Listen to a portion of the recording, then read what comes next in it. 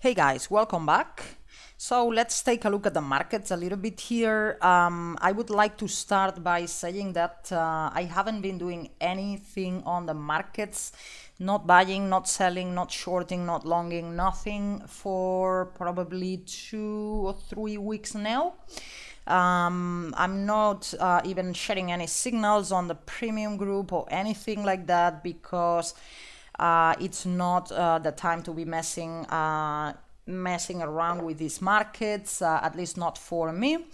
Uh, but um, yes, and I wanted to comment as well. I watch uh, the Crypto Sniper uh, a lot. I watch all his videos. I respect the man a lot. Uh, nothing changed, uh, in my opinion, to him. I think he's very good, and he has a method. That's uh, how he gets the targets. But I gotta say this time, I think uh, I wouldn't be so excited uh, about going short at this point because uh, you cannot forget this already. I mean, I'm showing Bitcoin Cash first because it's the one I'm interested in, but I will show a few altcoins later.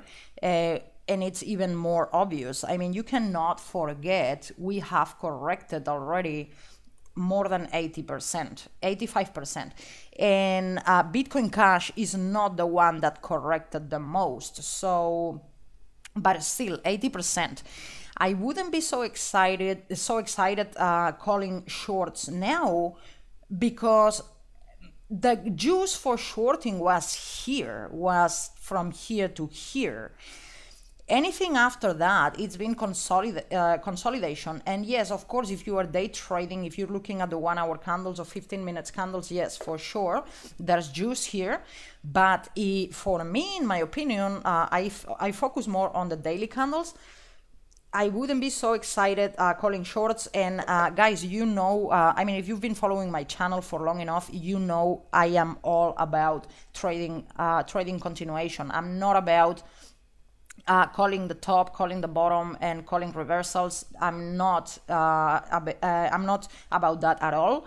I trade continuation, and uh, I've no problem calling shorts and and uh, and being a bear. No problem whatsoever. I have been uh, since the beginning of the year until the past what couple months. So I say it's very likely we bottomed here and we are only stabilizing here. We are in a consolidation period in this market. Uh, of course, it could go lower, but how much lower? What I mean is the juice for shorting was here. And well, again, uh, Bitcoin Cash is not the best example, but let's see. Uh, Cardano, uh, I'm showing this one because it's been heavily requested all the whole time. So, I mean, look at this. Uh, do you think it's uh, it's safe to go short here? Because to me, it's crazy. Uh, and again, I have no problem being a bear. I have been saying to go short the whole way down when uh, we were anywhere during downtrend. So long as we were below moving averages, I have been saying short when it bounces off moving average, short here. And then we were going sideways and up and I said no guys we are still bearish. We're below moving averages. We just crossed here short when it bounces off moving average and then you short here. Again in this one short when it bounces off moving average. And you conti- and you continue to trade continuation until when? Until it goes above moving averages and your ultimate signal to stop being short is when they cross bullish and they cross bullish here and now it's time to not go short anymore because we had the bullish uh, a bullish signal here on the 20 and 50 day moving averages. And since then we have been consolidating. There's a very high chance that this was the bottom because this is like a 90% correction a little bit more in fact. So even if the price was to come to retest the bottom even if it was to come here which i don't know if it'll go that uh, that low again or not but even even if it does so do you think it's worth shorting for this little bit here the time to short has passed already there's no more there's no more juice left to short here in my opinion i wouldn't be so excited calling shorts, especially for most of the altcoins. It's, uh, this is uh, very likely to be consolidation accumulation uh, phase for the altcoins. So, yeah, uh, icon uh yeah icon dollar. This one was heavily requested as well. It's crashing now. So man if you like the project it is time to buy dips. And how long it's been since you heard me say buy the dip? Months. Months. I mean since the beginning of the past bull run i haven't said to buy dips.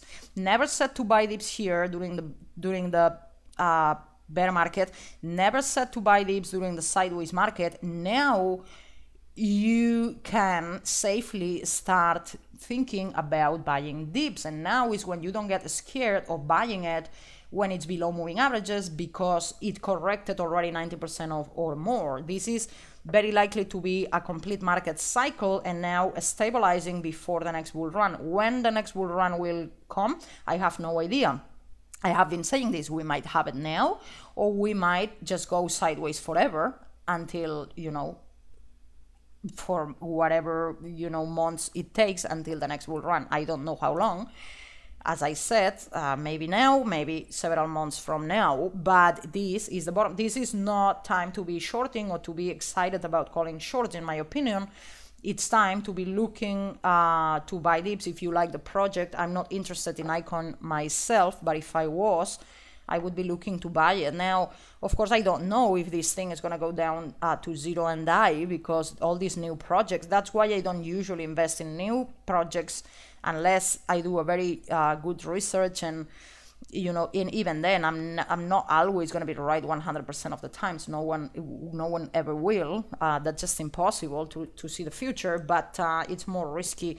Uh, investing in these new things is more risky than uh, in other you know in other things that have uh, more history. But uh, again, unless you know, assuming this is not going to go down to zero and die because of because it's a shit project, if that's not the case, then man, there's I don't see any other time better to buy dips than now. I would be buying. I wouldn't buy. I wouldn't mind buying now at two point seven dollars, two dollars seventy cents, even if it was to go down to retest the previous lows at uh, one dollar ninety. I wouldn't mind uh, to start buying in now and and uh, increasing if it goes lower because it's super super low already. It's corrected freaking 90%. So that's how I see the market. I don't, yeah, I wouldn't be uh, very excited calling shorts anymore. Uh, the time to short is past already. All the juice was here, as you can see, and even here when it bounced off this, even here, but not anymore, in my opinion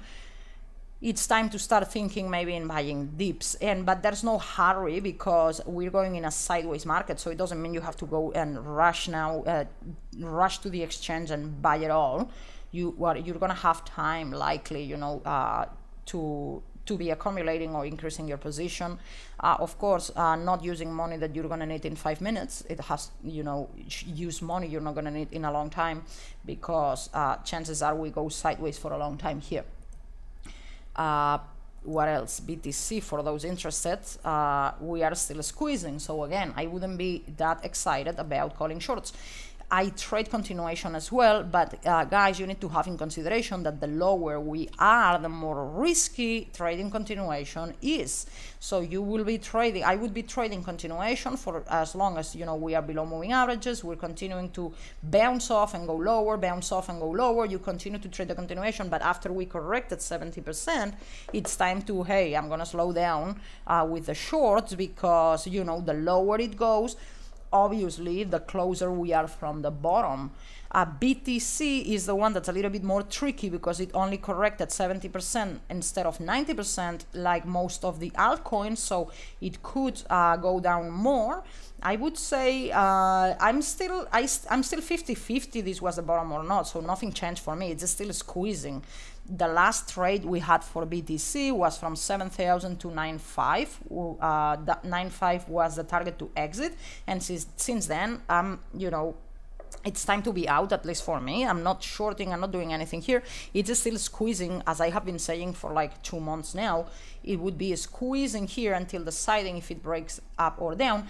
And i am 50 50 it'll break up or down. If it breaks up then i think uh, I think we're going to be good, maybe uptrending uh, very, very slowly. And if it breaks down, my next target would be uh, maybe 5,000, the top of the previous, the, the last significant top here at 5,000. That would be my target down if this squeezing pattern breaks in the downside. if you wanna short that, if it breaks down, yeah, there you go, you're gonna have a short-term short position uh, that you could uh, try and take advantage of it. But uh, again, it's more risky to go short now than it was from 17,000. You know, all the juice was here for shorting. Why? Eh, like, I mean, I don't know. I wouldn't be calling for shorts uh, anymore in here. Again, it doesn't mean it cannot go lower, but because it's not clear at all, I don't like it, you know. But of course, if you're a day trader, if you're trading very, very uh, short uh, time frames, then yes. But um, that's my view on uh, the markets, guys. I mean, I would see this uh, dip as an opportunity. Uh, doesn't mean it won't go lower, but even if these things go and retest the previous lows, you, I mean, come on, you tell me we're super low here. The risk is minimal. It's minimal. And yeah, uh, I mean, if you followed me for a long time, you know I have no problem being a bear, no problem at all. But not anymore, not after this. Come on now. Uh, I would be looking to buy dips from now, uh, you know, and increasing the lower it gets uh, from here. That's my opinion. Um, so let's see how this plays out. All right, guys, thanks for watching, and I will see you soon. Bye.